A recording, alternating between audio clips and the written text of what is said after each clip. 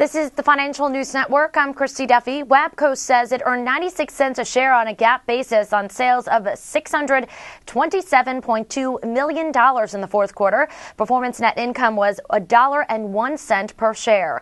Analysts on average were expecting earnings of 90 cents a share on revenue of $624 million.